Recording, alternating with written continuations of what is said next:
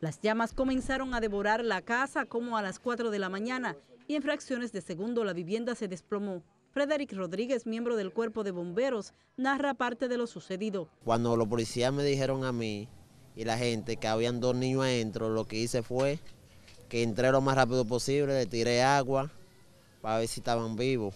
Pero ya cuando yo reviso, ya no había tiempo. La versión de los vecinos es que la madre dejó a los pequeños solos, como acostumbraba siempre. Le dijo a testigo de que ella tuvo que combatir el fuego con los niños, pero ¿dónde está la quemadura que tú te hiciste?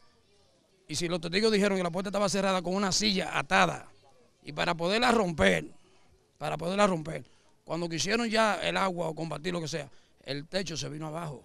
Dicen que la mujer solía descuidar a los pequeños, incluso lo mandaba solos a un colmado ubicado a unos 600 metros de la casa a comprarle romo y cerveza.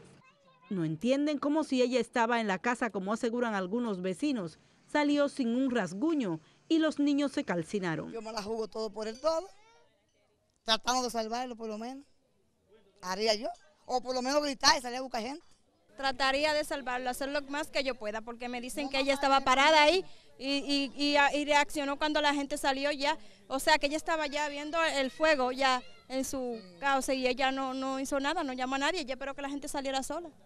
Según contaron los vecinos, la madre de los dos hermanitos calcinados tenía un altar en la casa y las velas y los velones pudieron ser el detonante del incendio. Cuentan además que supuestamente la mujer dejó ahogar en una ponchera a una pequeña de siete meses. Arelis Ceballos, Informativos Teleantillas.